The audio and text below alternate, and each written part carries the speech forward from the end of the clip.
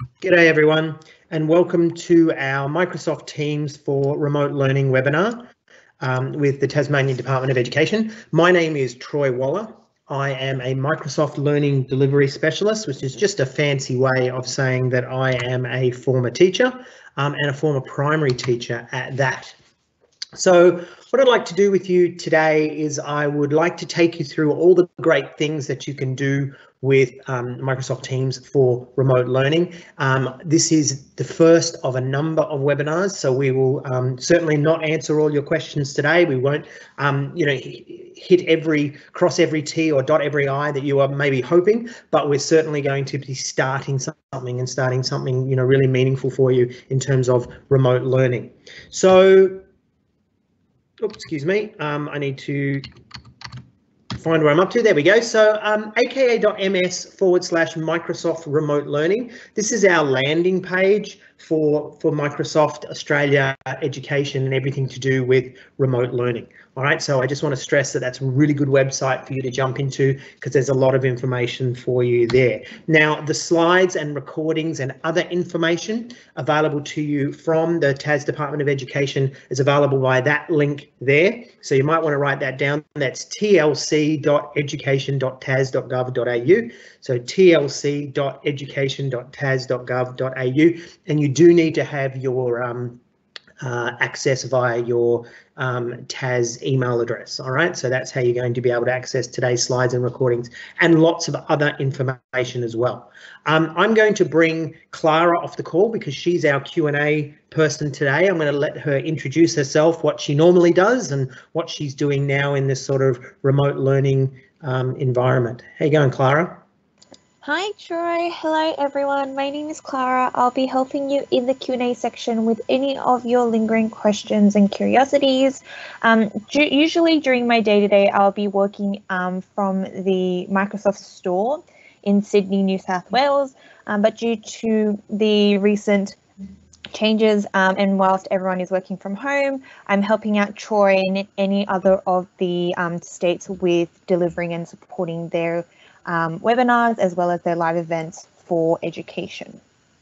Great, thanks for that, Clara. Now, um, when you hover your mouse over the screen, you're going to see um, there is a Q&A button um, and it's for text questions. So you can type your questions in. Clara will do her best to respond to those questions in real time. And from time to time, we might stop and, and field some of those questions directly to me. All right, so remember that, that uh, link there again, um, tlc.education.tas.gov au. So let's have a look at our agenda today. Here's what we're going to do. We're going to look um, and get an overview of Microsoft 365 and Teams. We're going to do a, a, Teams specific overview. We're going to look at setting up your class team, approach to effective online meetings, and also resources to help you get started. So this is our start page for Office, all right? So it's very easy to remember. It's just www.office.com or office.com. And so that's where you're going to go to get yourself started. Now, I'm sure that there are other ways that you've been given access to, um, to Office. There may be uh, links on other web pages and other internal TAS DOE pages um, but definitely remember you can get into it straight through office.com. Now, when we sign in, we just use our, um, our TAS department email address and that will sign you in and you just use your regular um, email and regular password, the same one you'd use to check your email, etc. Um, and that will get you in to, to Office.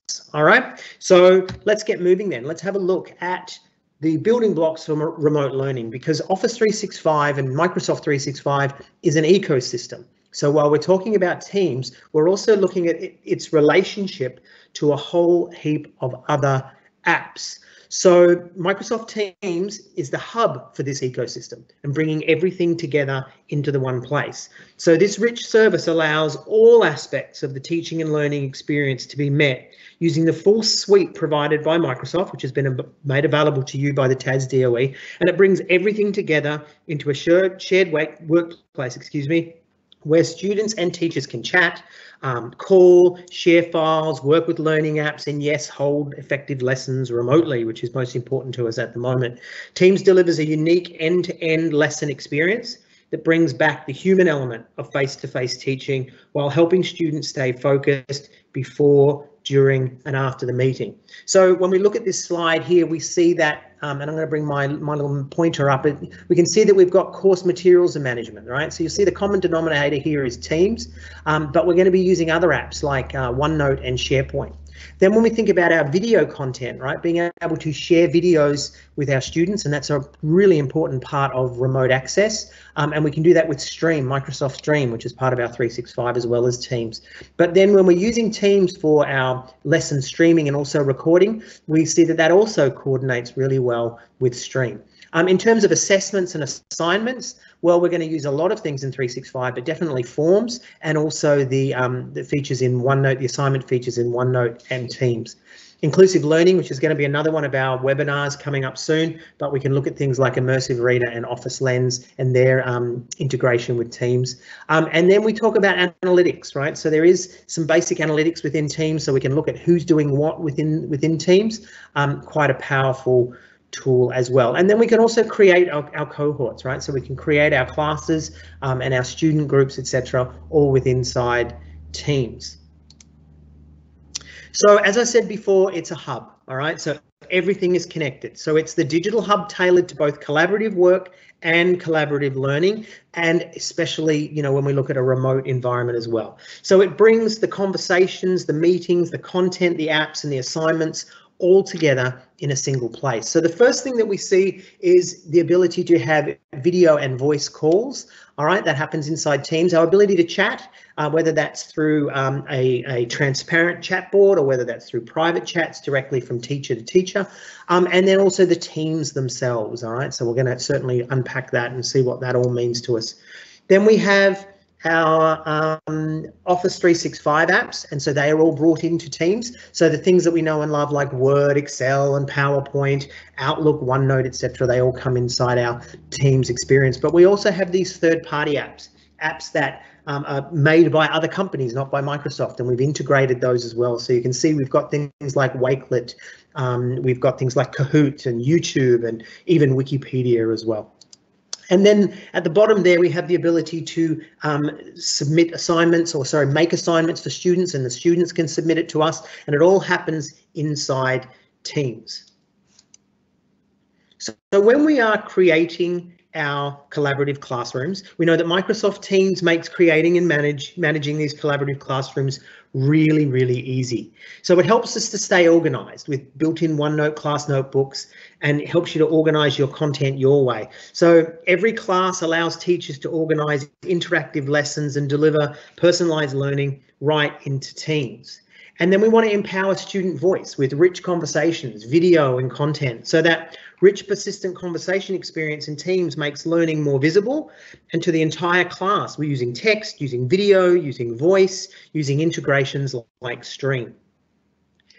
Um, we can easily create and share content with those 365 apps and files that we talked before, talked about before. So class avatars, emojis and stickers allow teachers to harness the natural behaviours and for a fun and fluid learning experience. And those apps integrate into the classroom experience so teachers can quickly access the Office 365 apps they already use like Word, Excel, PowerPoint, etc. So the thing about Teams is it's free for education, but the department has already purchased subscriptions for everybody anyway. So there's a, a there's a free level, but the department has actually bought a, a higher level, so that way that you, you know you're going to get the best. Your students, you and your students, going to get the best out of that 365 experience. Okay, so, but it's right across devices. So we have a desktop app for Teams. So whether you're on a Windows machine, a Linux machine, or you're on an Apple machine, um, you're able to um, have a dedicated client on that on that laptop, um, and that's where you're going to get the best experience for Teams. All right. But at the same time, we do have um, iOS that is phone and, and, and iPad apps, and we have dedicated Android apps for Android tablets and Android phones as well. So you're going to get a different experience on those devices but they're still really, really cool. I use Teams all the time on my mobile phone. Um, you know, there's certain things like I'm doing a presentation now. I'm definitely going to want to be on a PC to do that. But other times when I want to check my messages or chat with someone or, um, you know, sometimes jump in into a video call as just a passive, passive um, observer of that call, then the the um, the phone and the tablet app are, are enough. But we also have browser apps, right? So um, whether you're on the uh, Microsoft Edge, whether you're on Chrome, Safari, and even Firefox, you can still have a um, an experience across um, across that browser. But remembering the best experience is going to be on your Windows 10 device and um, and using um, the dedicated app. And I've just got the link there for you as well, but I'll show show you how to access um, the client a little bit later. But if you do want to get Teams, aka.ms forward slash get Teams, and that's how you're going to find it. But remembering it's easy on your um, on your phone, you just go into your Google Play Store or your um, uh, Apple App Store and, and download it from there. Okay, so let's get into the nitty gritty of our webinar and looking at how we could use Teams in a remote learning environment. Now, the first thing we're going to do is we're going to talk about before. And before is where we create the class team and we schedule our online class or lecture. So Teams is going to support your lessons by bringing everything the class needs for a meeting into one place. Teams is going to deliver that unique end-to-end -end experience that brings that human element of face-to-face -face interaction back while helping students stay focused before, during, and after the lesson. So before, as I said, to ensure the lesson's productive, students can prepare ahead of time, as can we teachers. Students can review the previous content and engagements and, and collaborate on documents. Now, during, we're going to present the contents to students. We're going to record our lesson for later viewing and we're going to manage our conversations and questions. So once the lesson begins, teachers can use a variety of features that help focus attention and drive engagement and foster inclusion, such as high fidelity audio and video, live captioning, translation, co-authoring of apps, digital whiteboards, and distraction-free backgrounds. For what it's worth, some of those are being rolled out now and there's some really, really cool ones that you can use. In terms of after the lesson, we want to access our lesson recordings. We want to view the responses to the conversations in our transparent chat spaces. And we want to continue that, that conversation with the students, right, on documents and learning materials. So all the content, including the recording, the chat, the notes, the digital whiteboard, the files, they're saved in a persistent conversation that helps the class continue the discussion. Nothing gets lost in the cracks. And hopefully you're going to find that no student needs to get lost in the cracks either. So let's talk about before. All right, so we're going to create our class team and then we're going to schedule our online class or lecture. And it's really, really easy to do. So when we create our virtual class space, when we create our team, there's a few things we need to remember. First of all, Microsoft Teams can support up to 5,000 members of a team. Second thing is students can't leave a team. If they've been if they've been joined into a team, they can't just leave a team. Um, and the invite is is um, excuse me, it's invite only and the team is hidden from others. So no one can accidentally stumble across your team and, and join in, whether they're inside the department or outside.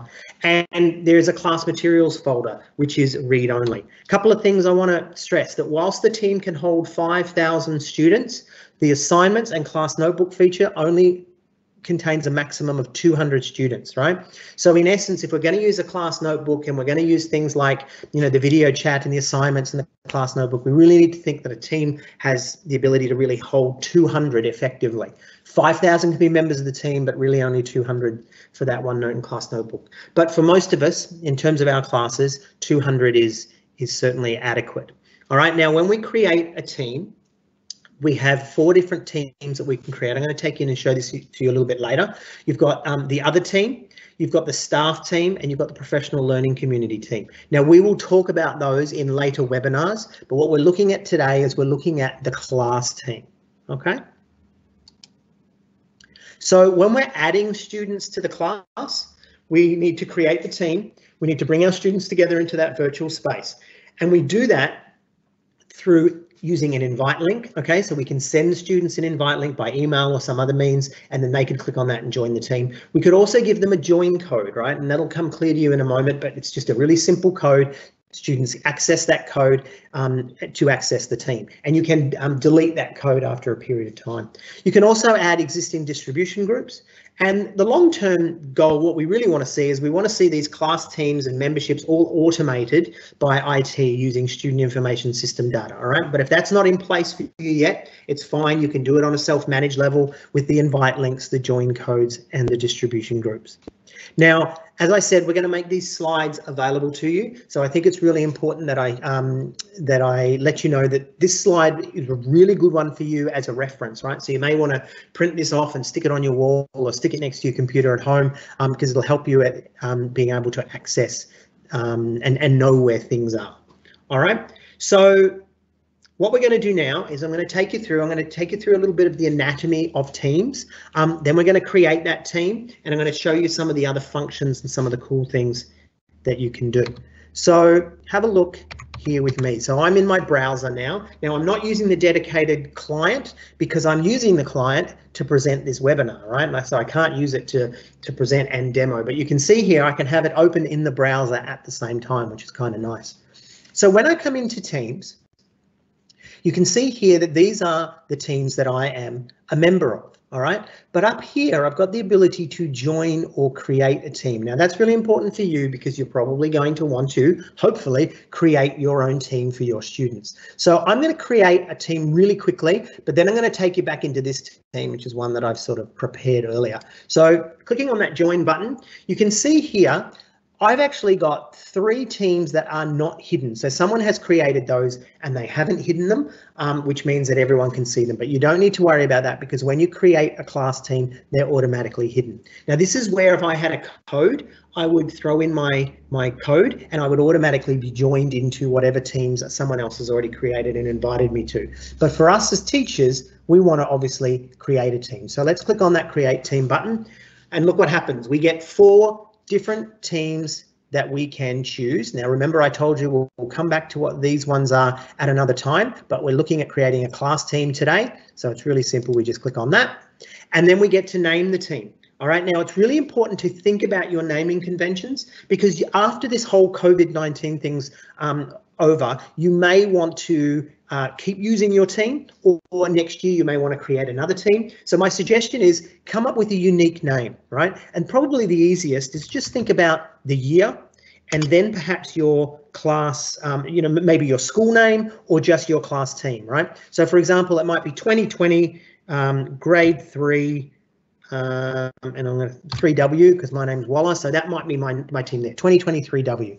Um, don't make it too long and, and confuse the kids, um, but just but do make it something that you know you can use it, um, sorry, you can adapt for ongoing years. Now, creating this team, I can create it from an existing team if I've got other teams and I, I want to bring all that content across, I can do that. But in this case, I'm just going to create a brand new team. So you can see there that it's whipping up that team for me.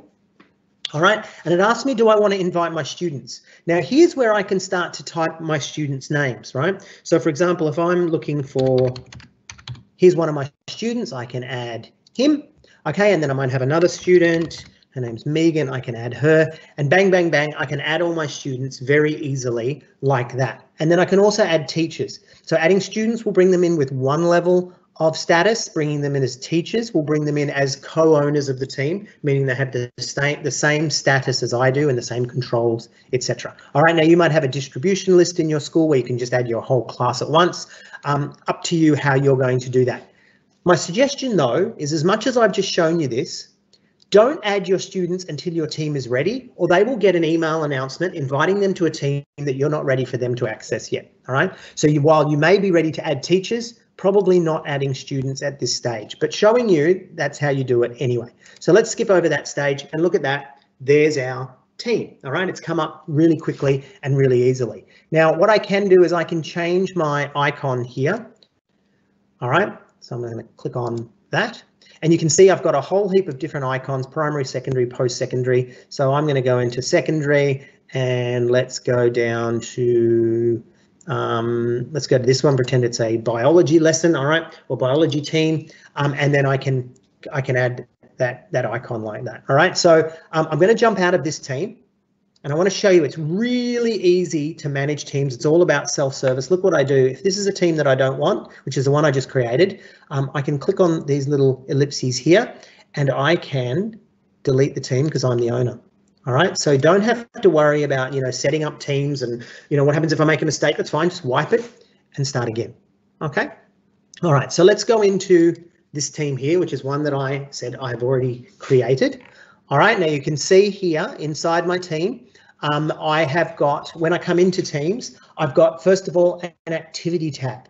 All right, now the activity tab is really important. Those of you that are on Facebook and Twitter and Instagram and stuff, you know when you get your notifications, it's the same within Teams. So what, what we've done at Microsoft is we've taken that sort of social media-esque style of, of relating to each other and communicating. We've brought that into a work or into an education context. All right, so it's locked down, it's not public, all right, but it still imitates that sort of social media. So when I click here on my activity tab, you can see here's all my, my latest um, activity notifications and past activity notifications as well. So if I click on those, it'll take me in. I have the ability to have a private chat. Private chats um, are for me, for you as teachers to teachers. They're not available for you as teachers to students and not available as student to student, all right? But that's private chats. And that's going to be very different to um, the, the more public chats, which we'll have a look at later.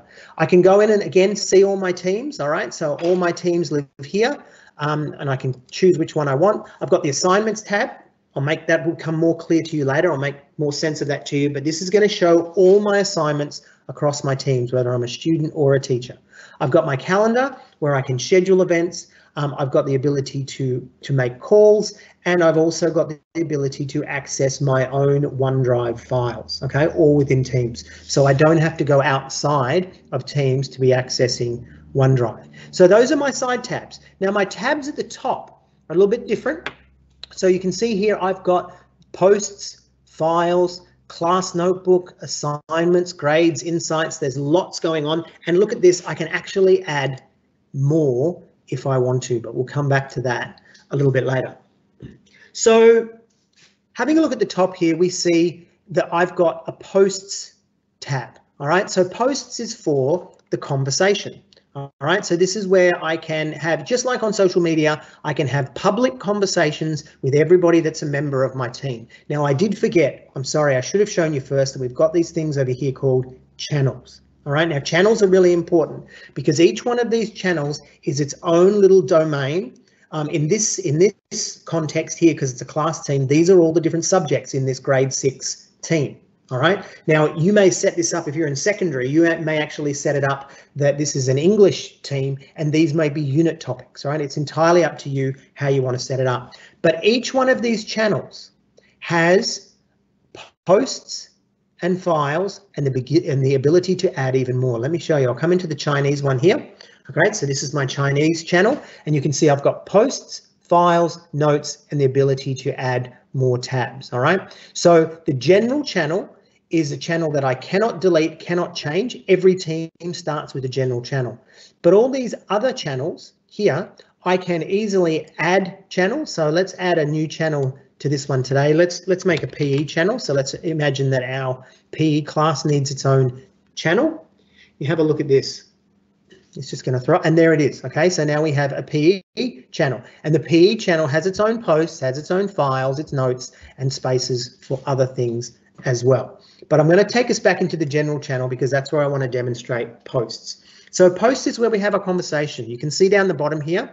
All right, I have the ability to format my posts. I can attach files. I've got emojis. I've got animated giffies. I've got stickers, and I can even hold a video chat, call a video chat spontaneously right inside there as well. Now, when I say hi to people. Like I could say, hi class, I hope you're well.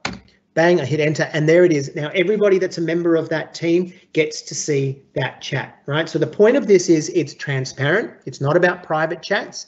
It's about everybody seeing what everybody else is doing.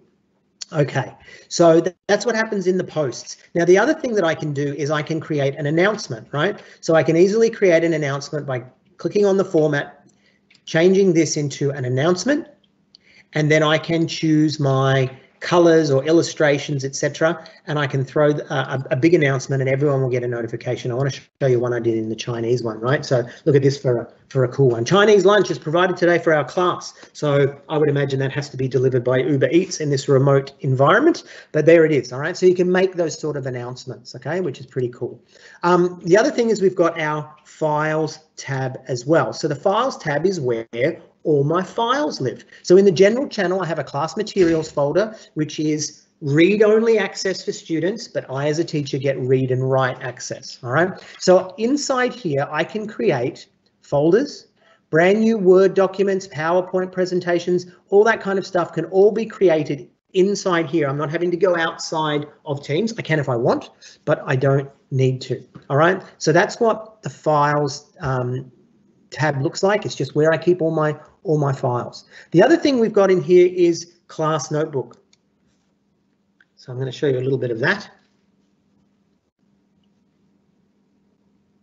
So anyone who knows OneNote Class Notebook will know it's a very powerful tool. Um, it's a very powerful tool for helping organize your class and also communicating with your with your class. Um, and so it's not Teams or Class Notebook, it's Teams and Class Notebook. So we're going to have another webinar all about the power of Class Notebook, but I want to show you that it lives inside here. Um, you've got your collaboration space, you've got your content library, you've got your student sections, etc. Um, I can open that in the browser, but I can also open it in the app. So if you're used to using um, OneNote 2016 or OneNote for Windows 10 or OneNote for Mac, even though the, the OneNote class notebook lives inside Teams, you can still use it and the full features of the app that you know and love. All right, and if this is looking a bit small, that's okay. You can maximize that by hitting that expand button there and you're going to get a lot more working room in there as well. Now, I told you before about creating channels and I showed you that I could create uh, PE, for example. Um, but I want to show you what happens if I come into something like, let's go into literacy. Okay, and let's say in this grade six channel, I want to throw in um, this uh, adjectives web web page, right, which is from the ABC. Um, and I want to make this available to my students. I don't want them to have to find it and you know be sharing links with them, etc. So what I do is I just grab that link, all right, and then I come back in here into my literacy channel, and then I'm going to hit plus, and I'm going to. This is where I can add all my different apps right? So I can add things like Word, PowerPoint, Excel, and you can see all these third-party apps as well. Some of these are subscription-based, some of them are free, but you can add add a lot of lot of stuff that you know and love. But I'm going to add a website because anything that's got a website, anything that's got a web page can be used through the web portal. So this is my adjectives. Um, let's call the adjectives session. Okay, and then I'm going to paste my link in here. All right, now, do I want a, channel, uh, sorry, do I want a tab to be posted in the channel? In this case, I do, and I click save. Now you look what happens here. Now what happens is inside Teams, that web page is now available to the students without having to jump out and find it. Like I said, sending links and all that. Student can still open it outside of Teams if they want, but I as a teacher could make a, series of these, of these links across the top. All right. And then if at the end of that lesson, if I want to change that, if I want to make it um, a new one, or even I just want to get rid of it, it's really easy. I just remove it like that and it's gone. All right. So there's nothing permanent about this it's, or static. It's very dynamic. Now, the other thing that I might want to do is I might want to bring in something like Canvas or some of my other resources into my team space for my students. Right. So I'm just going to do this as a random one. So remember, Canvas has a um, a, uh, a web portal, as does Much. So you can see here, this is the Learning at Home um, page from um, the TAS DOE. And what I'm going to do is, again, I'm going to grab that link. And this could be any web page, remember, but I'm going to come in here. I'm going to pop that in as a website tab. And this could be our, you know, some sort of Canvas start page that we've got. So I'm just going to pretend that it is Canvas and I hit save. And there it is, it's sitting now inside the page. So when my students come into whatever channel they're in, they can click on posts, they can look at their files, they can access their class notebook, but any other links that I've got are accessible to them right from inside Teams. All right, so creating channels is really easy to do. All right, remember we just click our three dots, add a channel, and then um, we can create tabs across the top by clicking on this plus up here. Now, while I see this, I just want to remind you that this, when our web uh, Teams site is ready to go, our Teams, our class team is ready to go, we can add members by just coming in here and clicking on that. All right, so that's how we set up our team. Now, I talked to you already about announcements. Announcements are very cool. So again, when you get these slides, I put this slide in here so that you can remember how to set up announcements. Now, the next thing I want to talk to you about though is the assignments experience. All right. So because it's a class team, we have the ability to set assignments and we have the ability to submit as students submit assignments and then teachers can give feedback. It's got that sort of LMS-ish kind of flavor. All right. Um, you may want to continue using your assignments um, through Canvas and that's 100% fine. You can do that. You don't have to use every single feature that's inside Teams. So please don't see this as a competition with your already existing Canvas experience because you could bring Canvas as a tab in here as well, whether you choose to use assignments or not. Okay, so let's have a look at the assignments. I want to show you some of the assignments that I've already created. So when I click on the assignments tab, now I get this as a teacher, I get the ability to create assignments. Obviously students wouldn't, they would only get to view their assignments. So when I click on create, I get two I get three choices, I should say. I can create an assignment, which is we're going to look at in a moment. I can create a quiz using Microsoft Forms. And again, we're going to have another workshop all about using Microsoft Forms as an assessment tool. But I can also bring it from an already existing assignment, right? So that could be right from another class team or from this class team. It saves me having to, you know, reinvent the wheel. But in this case, I'm going to show you what it looks like creating an assignment. So you can see here that when I get this new assignment um, page come up, I could, let's, let's say we're going to set up uh, adjectives assignment. I could call it whatever I want. Now I can add tags, right, categories. So you can see I've already got maths and social science. In this case, I'm going to make a new one. I'm going to call it English. Okay, so that's just going to put a tag on it. Um, then I can put my instructions. Okay, so please, you know, open this, do that, whatever my instructions are. But I can also add resources. Now this is key because I can upload resources from my own OneDrive space and the kids will get a copy of that. Um, I can add class notebook pages. All right, so if I'm integrating this with class notebook, I may want to make a, you know, a class notebook page that I've made available to the students as a resource. I can throw in links. I can also create new template files for the student to use, right? So instead of uploading a Word document full of information, I can actually give every student a brand new Word document, which they could be using as a template for this assignment. And then I can also use MakeCode, all right? So that's for uh, coding languages inside Minecraft and all that kind of stuff as well. I can also upload documents directly from my device. The other thing I can do is I can assign points. So this might be worth 50 points.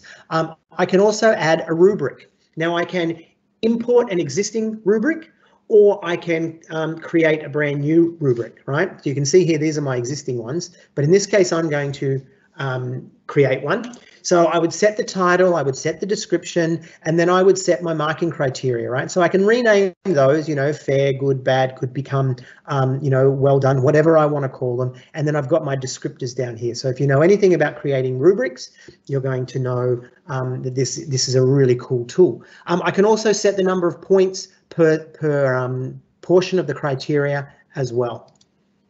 Um, then where do I want to assign it to? Which class? So I can have multiple classes. I can assign it to those multiple classes. And I can also decide whether it's going to go to all students or to my individual students. So I can differentiate in there as well.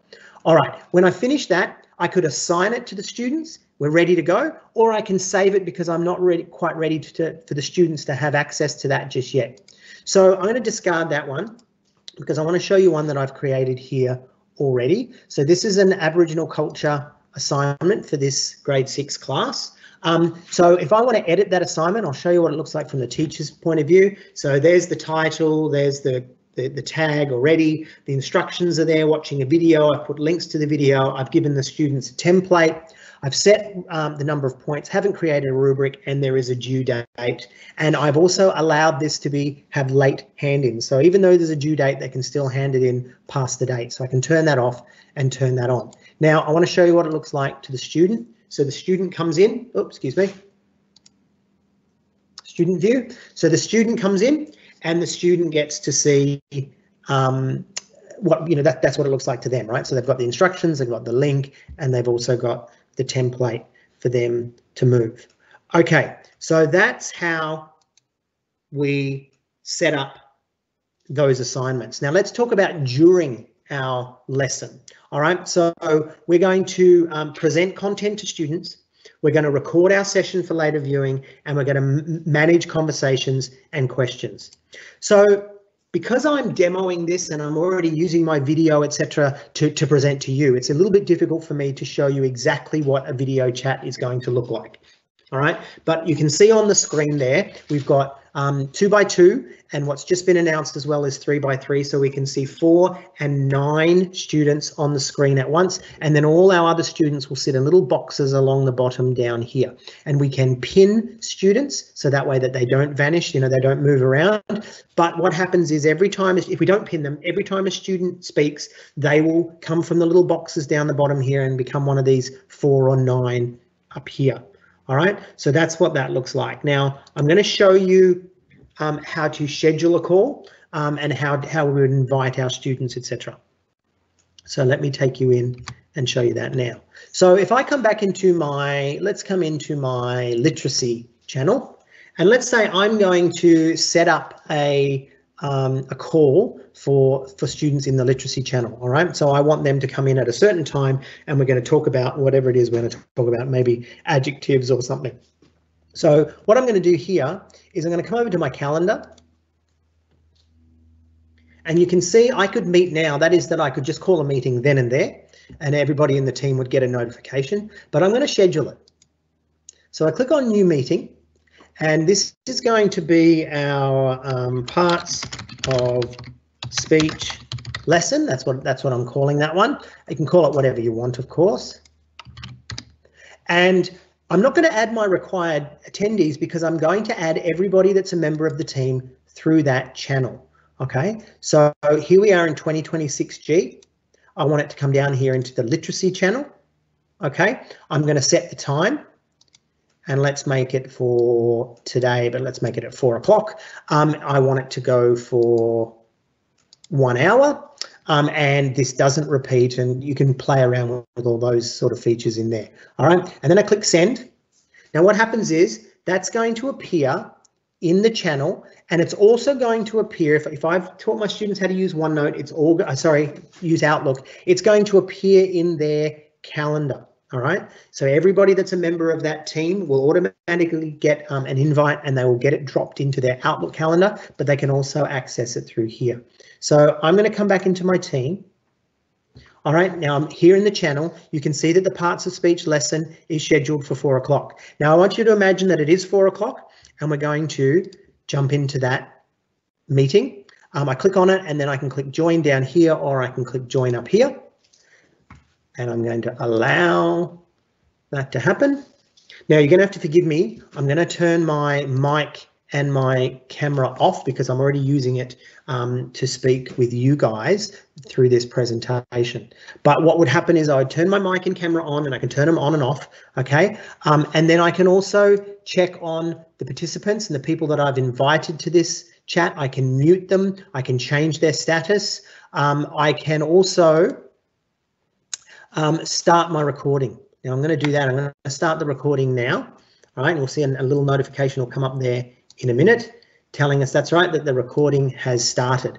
All right, now inside here, what I can do is I can um, um, look at my device settings. So if I'm having trouble with my sound or my speakers, uh, microphone, um, with my camera, that kind of thing can all be changed inside here.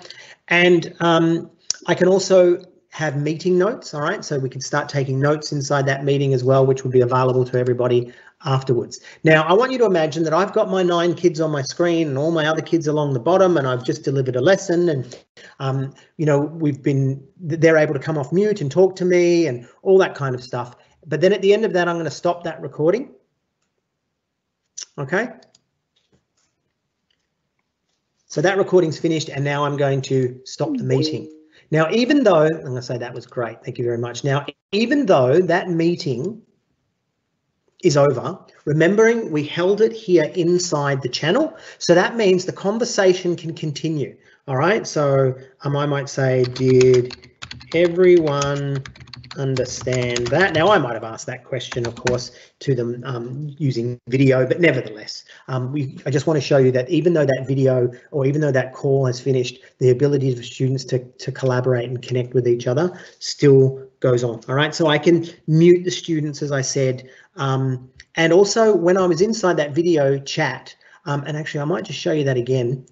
Um, I'm going to rejoin that meeting. When I'm inside that video chat, um, even though that meeting is actually happening, I'm not locked out of Teams because I'm in a video call. So I want you to imagine the video call's happening over here. I can still go in and chat with other teachers, check my activity, do other things inside Teams, and the whole time my video is actually playing, my video meeting is playing up here. So I can see that at the same time, and then I can jump back in to that if I want. I can go and look at my assignments if I want, come back into my chat. So it's not about being locked into the video, it's the video and everything else. So I'm going to stop that there. Um, the other thing that I didn't show you is the ability to share screens as well. So I could actually share my screen if I've got a PowerPoint presentation or I want to show them what's going on in my screen. Very much like what you're seeing right now. You're actually seeing me moving around on my screen. Um, students can see that in real time as well. All right, let's keep going. So after the lesson, well, we want to be able to access that lesson recording. We want to view those responses to the conversations and we want to continue to chat and collaborate on documents and learning materials, right? So I talked to you a little bit about that a moment ago, but the video that, that we made is actually saved into Microsoft Stream and is deposited into the channel. Now, it's still probably processing there, but let's go back in and have a look inside the team. And we were inside the literacy channel, okay? And we can see there that that lesson um, is actually going to be dropped in as a recording into the channel. Okay, so that will actually be dropped in there and we'll be able to access that when that's ready. Um, so what happens with that is, as I said, it's saved into Stream. Um, it's automatically uploaded to the channel so the students can access it um, and you can access it. Students that weren't there can, can revisit or students that were there can actually use it as a reference. Um, automated, automated closed captions. So there are captions happening in that um, in that chat. I have the ability to turn that on and I can get English captions in real time. There's also a searchable transcript as well.